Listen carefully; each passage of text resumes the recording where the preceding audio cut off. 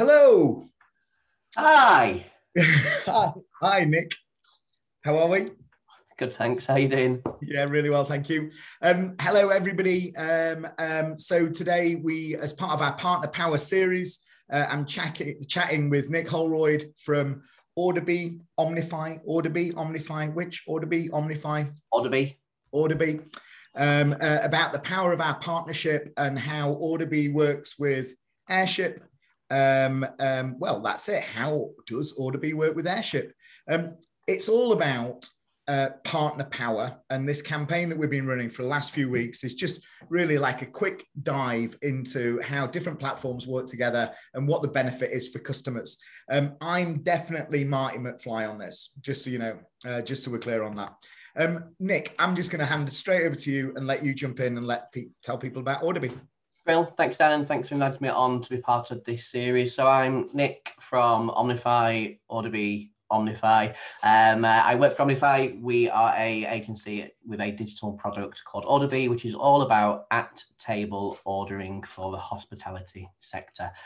We work with about 38, 39 current count operators of all shapes and sizes. Our technology is live in just over 2,000 sites. On average, we see about 10 million pounds worth of revenue go through the platform every single week. Pounds in pockets, uh, which at these kind of days and times is really important.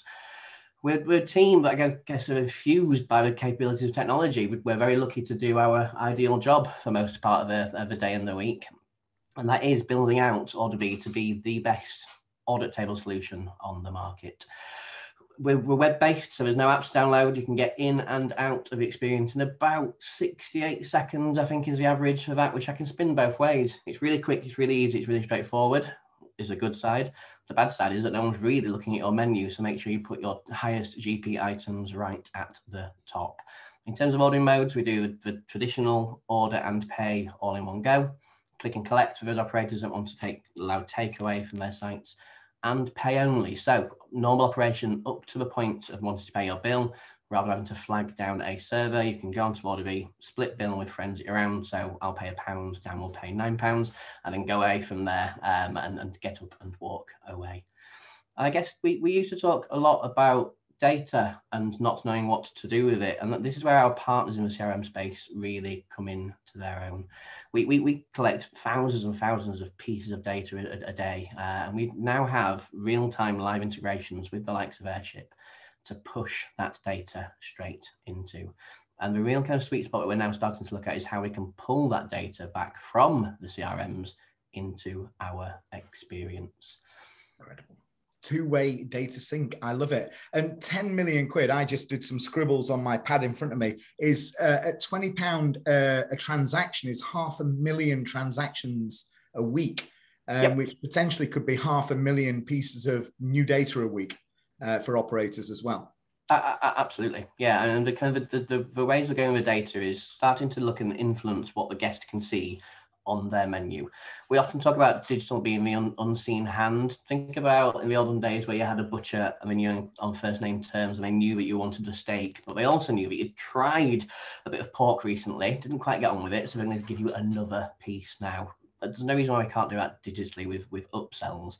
Yeah. We do have an upsell feature in the product. It's a um, how can I put it politely, a blunt tool. You'll get given the upsell for the onion rings, whether you want them or not. Yeah. I'd love to start to, to, talk about data and how that can influence based on what I've got on in my basket compared yeah. to what I haven't or have tried previously. And, and I think that two-way sync of data that you're talking about there, where the CRM is pulling back or pushing back into that product, whether it be Orderbee, whether it be a booking product or a Wi-Fi product or a feedback product, uh, or platform, uh, yeah, it's it's that's where the value, it's where it really really comes alive. Um, yeah. yeah, from that customer experience. Absolutely. I mean, we would talk, well, sorry, we used to talk a lot about siloed tools and legacy tools that you can't talk to. But, but these days, everything's out there with an API that we can get our hands on, or, or, or you, Dan, can get your hands on. And there's no reason why we, we shouldn't be, be um, talking to each other. The, one of the main reasons I love hospitality is that the peer group in terms of technology are also open to, to working with each other to get the best for our operators. Yeah, amazing, amazing. Um, and so from our side, um, uh, Orderbee um, is one of about 14 different data touch points uh, that we collect transactional information from customers to help our clients understand recency and frequency of visit.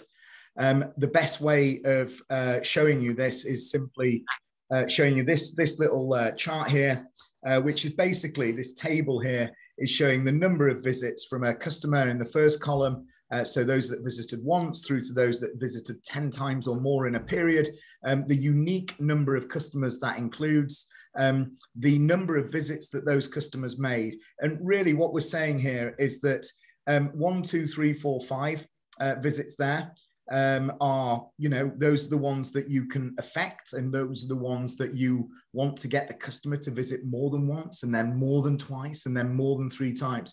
And these ones here, down at the 10 plus here, these are your super customers. Um, so 610 of these guys visited basically 14,000 times in this period for this live customer and made up 33% of their traffic into their locations. Um, so those those guys, you really just want to understand who they are, um, so that you can make sure you know when they're dropping off the bottom uh, and re-engage with them. But really about profiling who they are, understanding who they are, uh, what drives them, and then how you can affect those numbers above uh, to visit more frequently. Um, so we call all of this POP it sits on our platform and everybody has access to it. And then once you've got your pop segment set up, uh, basically you can automate customer journeys. Uh, you can target uh, campaigns to these different segments of people, uh, but the automation then hopefully will drive them through from prospect, bronze, silver, gold, platinum, and then capture uh, and re-engage with the lapsed customer. And the order B data that's coming through um, uh, alongside wireless social and the Wi-Fi data, alongside Collins and ResDiary and LiveRes and the booking platforms, alongside the loyalty platforms like Como and Pepper and Zonal Loyalty, uh, alongside the feedback platforms, Yumpingo, Feed It Back, Reputation.com, that builds all of that wealth of data uh, up and screws down on a single customer uh, view and gives you this opportunity to deliver uh, data driven loyalty. Uh, and that's POP. Um, together, we are very much hospitality focused. As uh, Nick mentioned, his 38, 39 locations, uh, uh, brands across around 2,000 locations. Airship are about 150 brands across a couple of thousand locations as well, I think. Um, and we share some clients. Um, we share these clients across Toggle as well, uh, because OrderBee integrates with Toggle to some degree on some EPOS platforms. um, and uh, and that's it. Oh yeah, here we go. Um, so we also, uh, like all of our integrations, we have in our academy. Uh, we have all the articles to help people get set up. Uh, it doesn't cost anything. Uh, so we work together with Nick um, at OrderBee, uh, we don't charge the customers for that connection. There's no setup fees, there's no ongoing fees. It's your data, it's just about making use of it. And I think that is about it. Nick, any final words? Not at all. Thank you very much for having me. Great. Thanks. Uh, thanks for coming on. Cheers. Bye. Bye.